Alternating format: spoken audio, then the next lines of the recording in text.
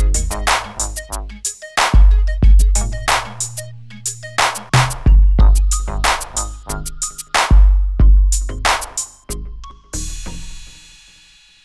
В Алтайском крае построят шесть поликлиник. Об этом сообщают корреспонденты «Аргументы и факты на Алтае».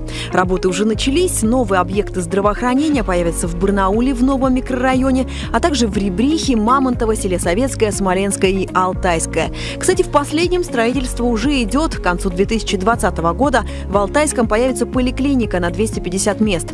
Подробности можете прочитать на страницах издательства «Аргументы и факты на Алтае».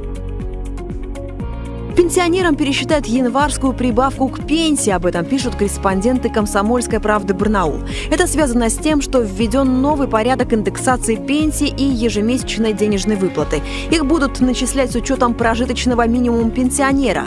В региональном отделении пенсионного фонда сообщили, что увеличение социальных доплат коснется более 7% неработающих пенсионеров. Вся информация есть на «Комсомольской правде» Барнаул.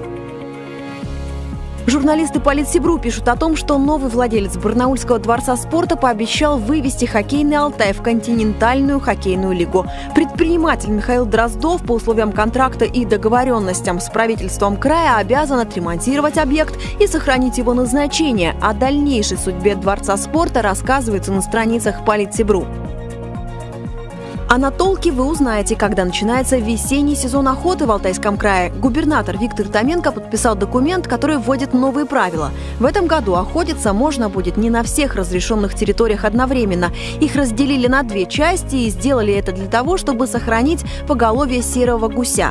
С 7 апреля разрешено стрелять только проходящую птицу, а с 26 числа этого же месяца охотиться можно будет на оселезня. Подробная информация, в каких районах и когда можно охотиться, есть на толке прогулки.